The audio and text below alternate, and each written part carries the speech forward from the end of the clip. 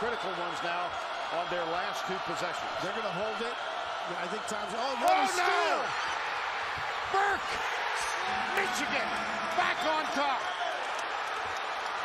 He stole it clean from Appling. Appling was looking at Tom Izzo, didn't protect the ball, and a big time player with a big time play.